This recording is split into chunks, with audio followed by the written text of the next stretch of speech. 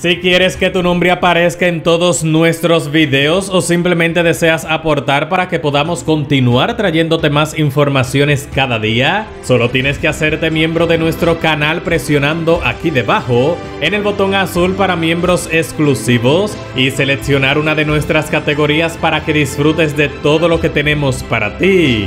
Ahora sí, pasemos a la noticia.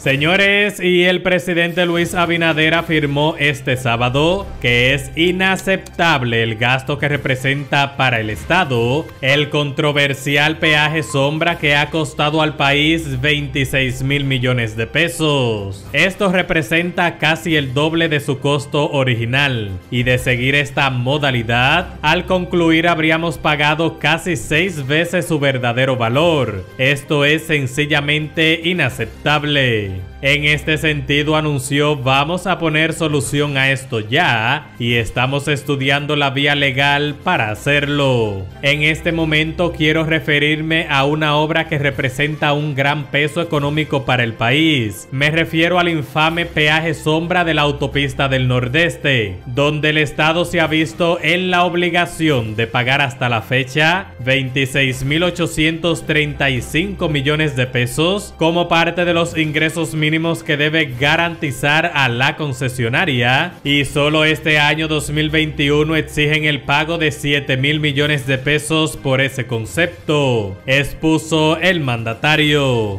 Recuerda dejarnos tus comentarios sobre qué te ha parecido este podcast y tus opiniones sobre la primera rendición de cuentas del presidente Abinader. Cualquiera que sea tu respuesta, puedes dejármelas en los comentarios. Recuerda que si deseas apoyar este proyecto informativo, puedes hacerlo dejándonos un me gusta y suscribiéndote al canal. Si te gustó nuestro contenido, puedes dejarnos un comentario y puedes compartir nuestros videos con todos tus amigos y familiares. Sin más nada que agregar, nos vemos en el próximo video.